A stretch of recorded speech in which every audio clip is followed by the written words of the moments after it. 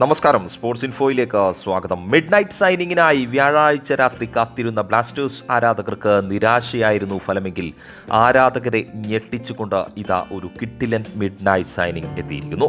Mid night on Thursday എന്നത് വെട്ടിമാറ്റി midnight on any day എന്ന് ട്വീറ്റ് ചെയ്തുകൊണ്ടാണ് കേരള ബ്ലാസ്റ്റേഴ്സ് എഫ് സി തങ്ങളുടെ രണ്ടാമത്തെ വിദേശ സൈനിങ് പൂർത്തിയാക്കിയിരിക്കുന്നത്. സ്വാഗതം ഇനസ് സിപ്പോവിച്ച് ഇനി ബ്ലാസ്റ്റേഴ്സ് പ്രതിരോധ നിരയെ ഈ മുപ്പതുകാരനായ ബോസ്നിയൻ താരം നയിക്കും. ഇന്ത്യൻ സൂപ്പർ ലീഗിൽ കഴിഞ്ഞ സീസണിൽ ചെന്നൈയിൻ എഫ് സി താരമായിരുന്നു സിപ്പോവിച്ച്. ഇന്ത്യൻ സൂപ്പർ ലീഗിലെ കഴിഞ്ഞ സീസണിൽ പതിനെട്ട് മത്സരങ്ങളിൽ ചെന്നൈയിൻ എഫ് സിക്കായി ബുട്ടണിഞ്ഞ സിപ്പോവിച്ച മികച്ച പ്രകടനം തന്നെയായിരുന്നു പുറത്തെടുത്തതും. ചെന്നൈയിൻ എഫ് സിയുമായി കരാർ അവസാനിച്ച് ഫ്രീ ഏജന്റ് ആയിരുന്നു ബോസ്നിയൻ താരം. റുമേനിയ ബെൽജിയം മൊറോക്കോ ഖത്തർ തുടങ്ങിയ രാജ്യങ്ങളിലും ക്ലബ് ഫുട്ബോളിൽ മികച്ച പരിചയ സമ്പത്ത് തന്നെയാണ് സിപ്പോവിച്ചിന്റെ പ്രത്യേകം ആറടി ആറിഞ്ച് ഉയരവും കരുത്തുറ്റ ശരീരവും ഈ പ്രതിരോധ താരത്തെ മറ്റുള്ളവരിൽ നിന്നും വ്യത്യസ്തനാക്കും.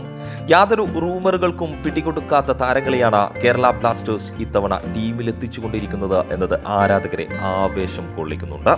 നിലവിൽ ഇന്ത്യൻ സൂപ്പർ ലീഗിലെ ഏക ബോസ്നിയൻ താരമായ സിപ്പോവിച്ച് കേരള ബ്ലാസ്റ്റേഴ്സ് നിരയിലെ ആദ്യത്തെ ബോസ്നിയൻ താരം കൂടിയാണ്. അഡ്രിയാൻ ലൂണയുടെ സർപ്രൈസ് സൈനിങ്ങിന് ശേഷമാണ് സിപ്പോവിച്ച് ഒരു വർഷത്തെ കരാറിൽ മഞ്ഞപ്പടക്കായി കൂട്ടണിയുക